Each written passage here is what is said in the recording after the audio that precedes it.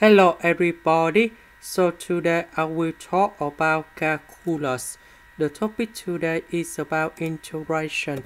So now I will show you how to answer. We need to use about integration by substitution. So I will put about u equals to cosine s.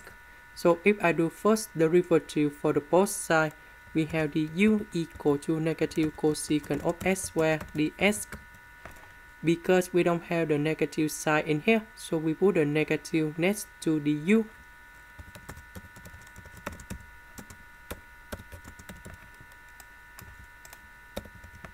This one we change cosine s into u.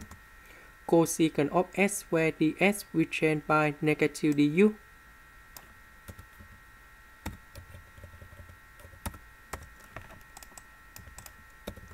the integration of u we have u square over 2 and we put about c. About u, that's about cosine s. This is the end. Thank you for watching.